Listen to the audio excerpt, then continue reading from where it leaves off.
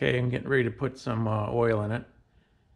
I'm converting this system from R12 to 134A and I'm going to put ester oil in there instead of PAG oil or mineral oil. Mineral oil was what was in it before and PAG oil is not compatible with uh, the mineral oil so I'm using ester oil which is compatible with uh, R12 or 134A. Supposedly it takes 10 ounces when it's empty. I've got 8 ounce 8 ounces of oil.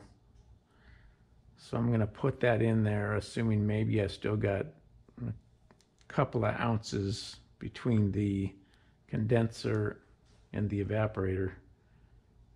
I've already pulled a vacuum on it. Don't know if you can see that, but it's it's down to as low as it'll go. 29 minus or pull it down to 29. And it's been sitting for about an hour now with these gauges closed. So the so the pump is isolated um, from the van but these hoses still read pressure up to here. They just aren't connected here anymore this way. That's what these valves do. And it's been sitting here holding just fine. Hasn't moved a bit.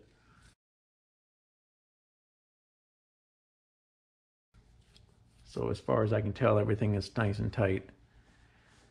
So what I'm going to do now is is uh, put eight ounces of ester oil in there so I'm going to turn the vacuum pump on. Uh, open up this valve here so that I'm I'm uh, sucking it this way through the high side. And then I'll unhook this from here and stick it into my oil and let it suck the oil in through the blue line until it's all inside there. And then I'll hook this back up and then I'll vacuum it down again for oh, at least 30 minutes to get any air out that was introduced when I sucked in through this blue line. This is the oil I'm putting in. It has dye in it. Ester 100 with dye. So what I'll do is I'll just uh, take the lid off, put my blue hose in there, got the low side manifold valve shut and the high side open. Got a vacuum here. So now let's just suck this in there.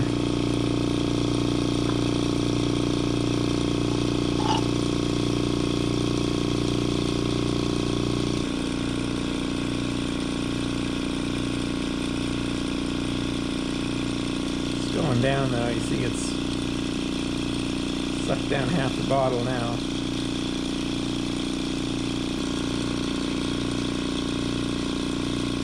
See it go down.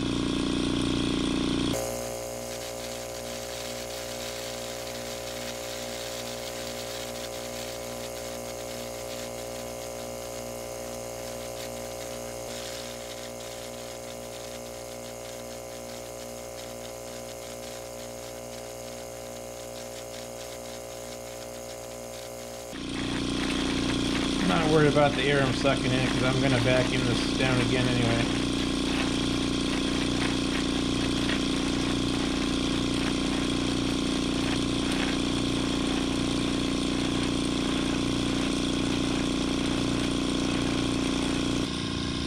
Okay, all the oil's in there now. I put the blue line back on the manifold. Gauge set. Thought I would mention I've got the yellow hose hooked to my my vacuum pump. The high side is open. The low side is closed. And so it's drawing it this way through the high side and vacuuming down the, the system. And then when I get it, after about 40 minutes of doing that, I will uh, hook my refrigerant up to the other end of this yellow hose. This will be closed, and then I'll open this up and charge it through the low side. So right now, the, the vacuum is coming this way. When I'm charging, this will be closed, and it will be uh, refrigerant will be going this way. Okay, I'm gonna got a can on here. Got my tap on there, tap screwed down. So the can's shut right now. Let me go ahead and open it up.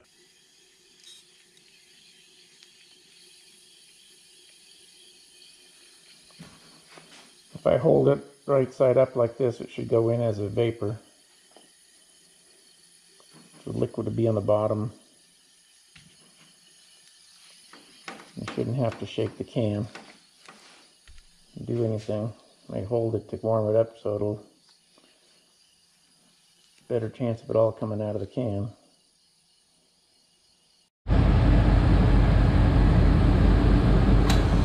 Okay, at this point I've got the system charged up. I've converted it from R12 134A.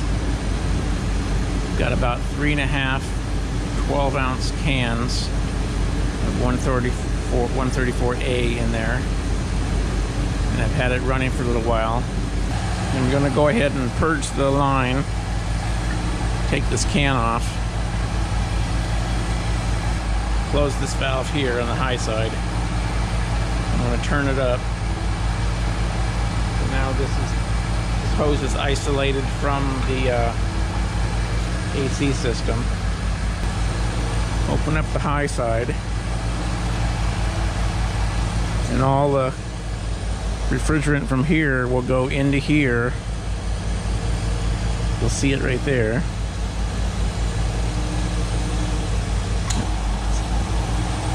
Not a lot, just a little bit.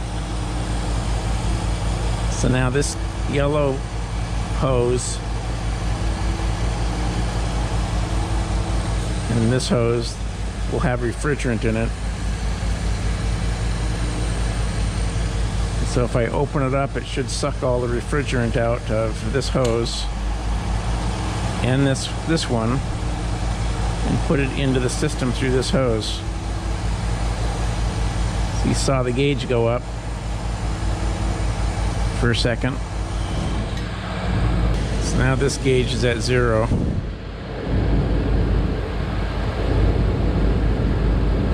Shouldn't really have much refrigerant left in any of these hoses. Because I sucked it all in through the blue hose. If you have a check valve here. If you don't have... Okay, while the compressor was running, I, I closed the uh, the valve on the low side where the blue hose go. Right now these valves for the high side and the low side are closed so this hose has about 30 psi in it. So there shouldn't be any refrigerant in any of these lines, just uh, maybe 30 psi, 27 to 30 in that hose. So when I take it off, it's going to be about the same as you just take the, the hose off the can and you take this hose off, so there shouldn't be much lost. So we're all done. And I believe we've got uh, the temperature that should be coming out right now, the AC running should be about around 48 degrees, somewhere around there with the temperature and humidity for today.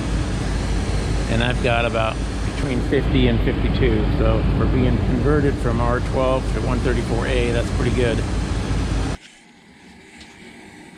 don't know if you can hear that, but once you turn it off, it sounds like it's leaking, but it's not leaking. It's the pressure equalizing between the high side and the low side through the orifice tube. That's why your gauges, if your orifice tube is not plugged, your gauges should read about the same when it's sitting static with no compressor running.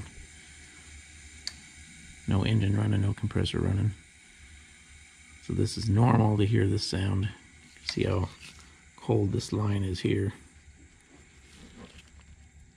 See now it's gone away. So if you put gauges on here, it should should say somewhere around between 70 and 80 psi. I think it was around 80 the last time I checked when it was sitting with the engine off.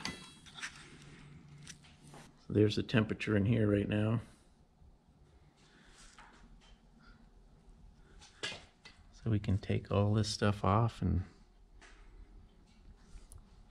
put the stuff back on that I took off. The air intake.